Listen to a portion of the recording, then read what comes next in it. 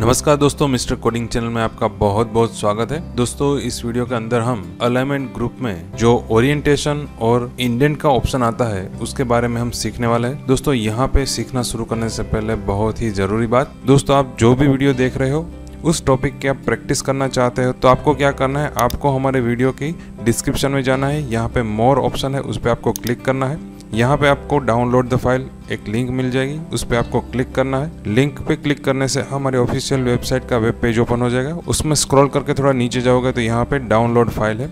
उस पर क्लिक करके आप फ़ाइल डाउनलोड कर लीजिए। उसमें जो भी टॉपिक आप सीखना चाहते हो, उसकी नोट्स भी मिल जाएगी और आखिर में प्रैक्टिस करने के लिए एक्सरसाइज भी मिल जाएगी। अब दोस्तों हम एम एस के अंदर अलाइनमेंट ग्रुप के अंदर जो टेक्स रोटेड और इंडेंट का ऑप्शन आता है, उसके बारे में हम पूरी जानकारी यहाँ पे देख लेते हैं। दोस्तों, यहाँ पे मैंने अपना एम एस ओपन कर लिया है और यहाँ पे पहले से ही मैंने इंडिया लिखा हुआ है। यहाँ पे दोस्तों हम, ये ओरिएंटेशन का ऑप्शन है और यहाँ पे इंडियन का ऑप्शन है। ये दो ऑप्शन हम यहाँ पे आज सीखने वाले हैं। दोस्तों ओरिएंटेशन का यूज़ क्या है? दोस्तों ओरिएंटेशन की मदद से हम अपना टेक्स्ट जिस डायरेक्शन में लिखा हुआ होता है, उसकी डायरेक्शन हम चेंज कर सकते हैं। किस तरह से दोस्तों, यहाँ पे दोस्तों इंडिया लिखा हुआ है, उसकी डायरेक्शन हमें चेंज करनी है तो यहाँ पे इस सेल को हम सिलेक्ट कर लेते हैं। अब दोस्तों, यहाँ पे ओरिएंटेशन के बाजू में मोर बटन है, उस पर हम क्लिक करेंगे। तो देखिए दोस्तों, यहाँ पे अलग अलग पाँच तरह के ओरिएंटेशन दिए हुए और जो भी ओरिएंटेशन का ऑप्शन है, उस पर क्लिक करने से हमारा जो कंटेंट है, हमारा जो टेक्स्ट है, उसकी डायरेक्शन किस तरह से होगी, उसका सैंपल यहाँ पे आगे दिया हुआ है। अगर दोस्तों आप अपना content left to right cross में रखना चाहते हो तो यहाँ पे पहला ऑप्शन है एंगल काउंटर क्लॉकवाइज तो यहाँ पे आप क्लिक करोगे तो हमारा जो कंटेंट है वो लेफ़्ट टू राइट क्रॉस में आ जाएगा। फिर से दोस्तों हम ओरिएंटेशन में चले जाते हैं। यहाँ पे दोस्तों दूसरा ऑप्शन है एंगल क्लॉकवाइज इस ऑप्शन से हमारा कंटेंट लेफ़्ट में ऊपर से लेके राइट साइड नीचे की डायरेक्शन में आ जाएगा। तो यहाँ पे हम क्लिक करेंगे। तो देखिए दोस्तों, हमारा जो कंटेंट है, वो ऊपर से नीचे की डायरेक्शन में क्रॉस में आ गया। फिर से हम दोस्तों इसको सिलेक्ट कर लेते हैं। यहाँ पे मोर बटन पे जाएँगे। फिर दोस्तों तीसरा ऑप्शन है वर्टिकल टेक्स्ट अगर आप अपना कंटेंट वर्टिकली एक एक अक्षर को वर्टिकली लिखना चाहते हो तो इस ऑप्शन पे आप क्लिक करोगे। तो देखिए दोस्तों, पूरा कंटेंट है वो वर्टिकली लिखा हुआ आ गया। दोस्तों, इसका फ़ायदा क्या है? अगर हम यहाँ पे इस कंटेंट को हटा देते हैं डिलीट कर देते हैं, और फिर से नया हम यहाँ पे कंटेंट लिख लेते हैं, स्वराज। इतना लिख के हम एंटर की प्रेस करेंगे तो ये जो कंटेंट है, वो वर्टिकली अपने आप सेट हो जाएगा। तो ये इसका, दोस्तों बेनिफिट है। यहाँ पे, दोस्तों, हम फिर से इस सेल को सिलेक्ट कर लेते हैं ओरिएंटेशन में चले जाते हैं। दोस्तों नेक्स्ट ऑप्शन है रोटेट टेक्स्ट अप इस ऑप्शन से, दोस्तों, हमारा जो टेक्स्ट है, वो नीचे से ऊपर की तरफ़ लिखा हुआ आ जाएगा। यहाँ पे हम क्लिक करेंगे तो देखिए दोस्तों, हमारा जो कंटेंट है वो नीचे से ऊपर की तरफ़ लिखा हुआ आ गया। फिर से दोस्तों हम ओरिएंटेशन में चले जाते हैं। दोस्तों लास्ट ऑप्शन है रोटेड टेक्स्ट डाउन इस ऑप्शन से हमारा जो कंटेंट है, वो ऊपर से नीचे की डायरेक्शन में लिखा हुआ आ जाएगा। यहाँ पे हम क्लिक करेंगे तो देखिए दोस्तों, यहाँ पे लिखा हुआ आ गया स्वराज। तो इस तरह से दोस्तों हम, हमारा जो कंटेंट है वो रोटेट कर सकते हैं। फिर से दोस्तों हम ओरिएंटेशन में चले जाते हैं। दोस्तों, यहाँ पे लास्ट ऑप्शन है फॉर्मेट सेल अलाइनमेंट इस पे हम क्लिक करेंगे तो दोस्तों, यहाँ पे पूरा एक डायलॉग बॉक्स ओपन हो जाएगा। ये डायलॉग बॉक्स फॉर्मेट सेल का डायलॉग बॉक्स है। दोस्तों, अभी के लिए हम ये ऑप्शन नहीं सीख रहे।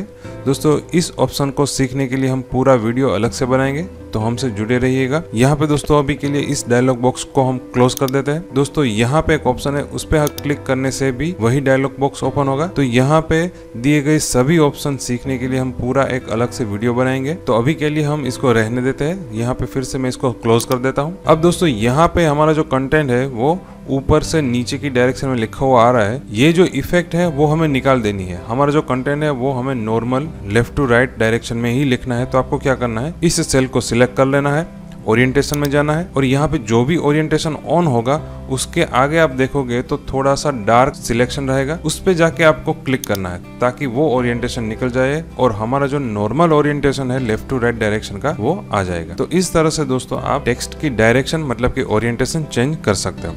फिर दोस्तों यहाँ पे दो ऑप्शन है इंडेंट का।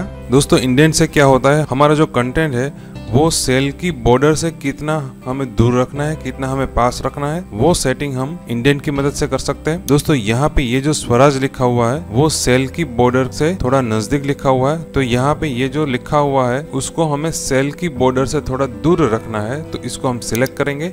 यहाँ पे दोस्तों ऑप्शन है इंक्रीज इंडेंट उस पर हम क्लिक करेंगे। तो देखिए दोस्तों, यहाँ पे हमारा जो कंटेंट है, वो सेल की बॉर्डर से थोड़ा दूर आ रहा है। फिर से हम क्लिक करेंगे तो और ज़्यादा दूर आ रहा है। उसी तरीके से से अगर आपको ये जो इंडेंट यहाँ पे है, उसको कम करना है तो यहाँ पे आप क्लिक करोगे तो वो इंडेंट कम हो जाएगा और हमारा जो कंटेंट है, वो बॉर्डर के नज़दीक आ जाएगा। फिर से हम क्लिक करेंगे तो यहाँ पे फिर से वो सेल की बॉर्डर के नज़दीक आ जाएगा। फिर से दोस्तों हम यहाँ पे इंडेंट बढ़ा देते हैं। अब दोस्तों इसका ये फ़ायदा है, यहाँ पे अगर हम इसको डिलीट कर देते हैं और फिर से हम कुछ नया लिखते हैं तो वो इंडेंट है, वो वैसा के वैसा ही रहेगा। हमारा जो कंटेंट है, वो बॉर्डर से उतनी ही दूर आएगा जितना हमने इंडेंट रखा है। तो इस तरह से दोस्तों आप सेल का कंटेंट है, वो बॉर्डर से दूर रखना चाहते हैं तो इंडेंट का ऑप्शन आप उस पर अप्लाई कर सकते हो। यहाँ पे दोस्तों हमने पहले से ही एक टाइम टेबल बनाया हुआ है। इस टाइम टेबल पे दोस्तों हम ओरिएंटेशन और इंडेंट का ऑप्शन अप्लाई करेंगे। यहाँ पे दोस्तों ये जो हेडिंग लिखा हुआ है, उस पर हम ओरिएंटेशन अप्लाई करेंगे।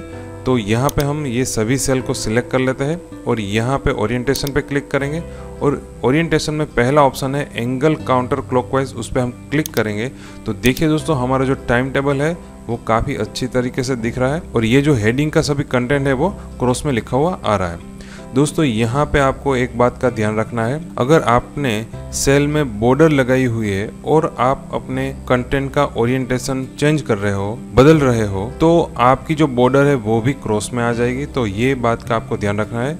दोस्तों, अगर मैं यहाँ पे इस सेल को सिलेक्ट करूँगा और ओरिएंटेशन है वो एंगल काउंटर क्लॉकवाइज पे क्लिक करूँगा तो देखिए दोस्तों, यहाँ पे सेल की बॉर्डर भी क्रॉस में आ रही है। जो बाजू में सेल है, उसके ऊपर आ जाएगी। तो आपको ये बात का ध्यान रखना है। अगर आप ओरिएंटेशन दे रहे हो तो बॉर्डर का आपको ध्यान रखना है। यहाँ पे दोस्तों हम इस सेल को सिलेक्ट करके ओरिएंटेशन निकाल देते हैं। तो यहाँ पे दोस्तों हेडिंग के सभी सेल को हमने ओरिएंटेशन दे दिया है। यहाँ पे दोस्तों ये जो सब्जेक्ट लिखे हुए हैं, वो सेल की बॉर्डर से बहुत ही नज़दीक है। तो हमें थोड़ा दूर रखना है तो सभी सेल को हम सिलेक्ट करेंगे और यहाँ पे हम इंडेंट इंक्रीज कर देंगे।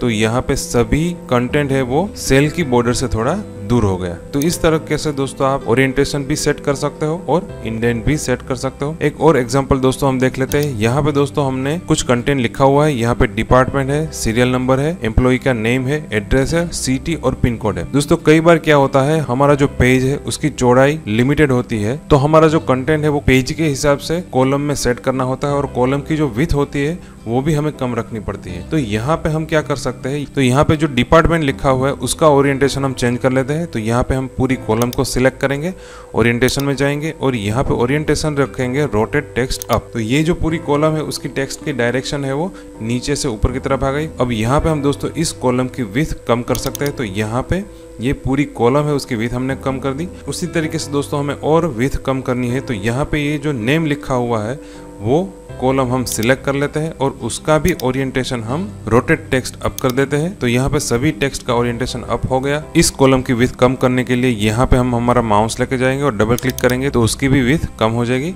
तो इस तरीके से दोस्तों ओरिएंटेशन चेंज करके हम कॉलम की विथ कम कर सकते हैं और हमारा जो प्रिंट आउट में पेज की जो विथ है, उसकी जो चौड़ाई है, उसके हिसाब से हम कंटेंट प्रिंट भी कर सकते हैं। तो यहाँ पे दोस्तों आप इस तरह से ओरिएंटेशन और इंडेंट का यूज़ कर सकते हो। नेक्स्ट वीडियो में दोस्तों वर्ड ब्रेप और मर्ज एंड सेंटर के ऑप्शन के बारे में सीखेंगे। इसके अलावा दोस्तों आप ओरिएंटेशन और इंडेंट की प्रैक्टिस कर लीजिए, ताकि दोनों ऑप्शन आपको अच्छी तरीके से समझ में आ जाए। और दोस्तों प्रैक्टिस करते समय अगर आपको कोई कन्फ्यूज़न है, कोई क्वेश्चन है तो हमें कमेंट बॉक्स में बताइए, जिसका हम आपको ज़रूर से सोल्यूशन देंगे। दोस्तों बहुत बहुत धन्यवाद। Thank you